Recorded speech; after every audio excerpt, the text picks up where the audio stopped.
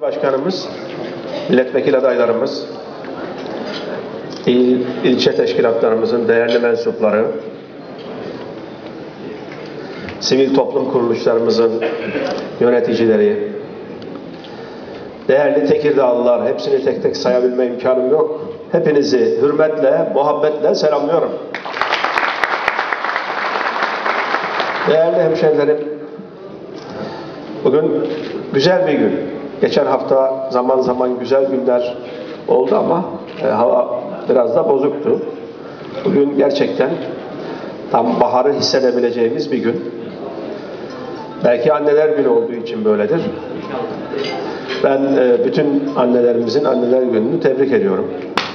Bu konuda bizim kültürümüzün, medeniyetimizin çok güzel sözleri var. Ansiklopediler oluşturacak derecede. Arkadaşlarımız burada Peygamber Efendimizin e, bir sözünden bahsettiler.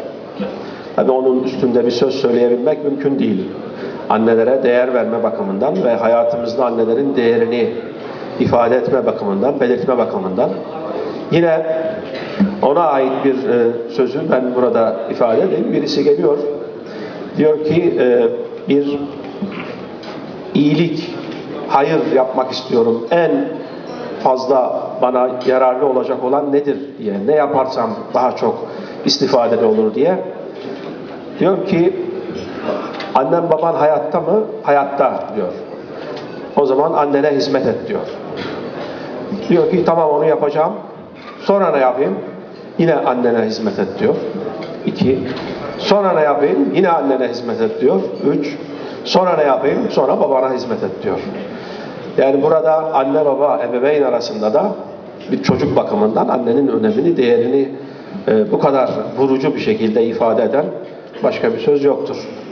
Yine e, annenin çocuğu için e, yaşadığı meşakkatleri Kur'an'da da ifade ediyor Rabbimiz.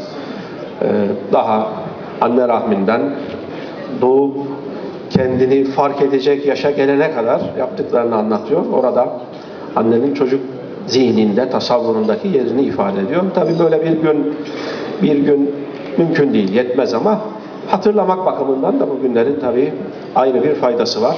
Ben tekrar bütün annelerimizin anneler gününü tebrik ediyorum. Ellerinden öpüyorum.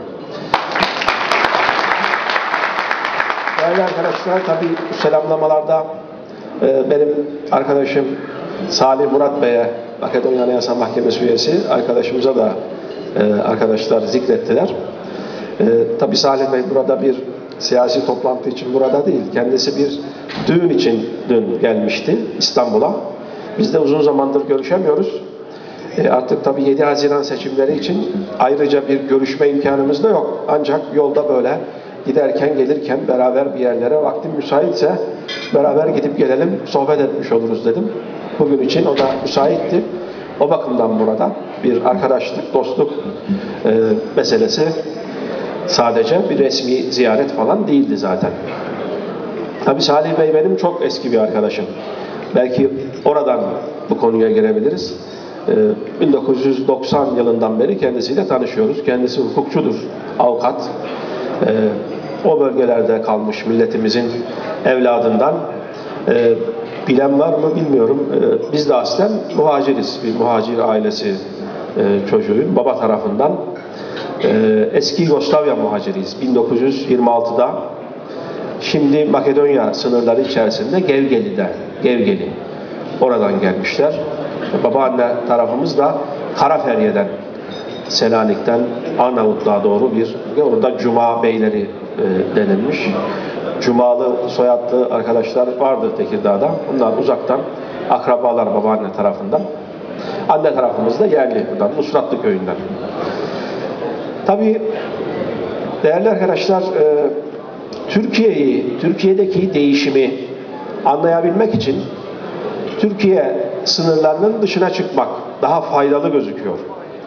Şimdi burada yaşayan insanlarımız az önce Hakan Bey de ifade etti. Sayın Hakan Sunal e, AK Parti ne yaptı ki ben bu sözü çok e, acayip karşılamıyorum. Şundan dolayı çünkü hafızayı beşer nisyan ile malum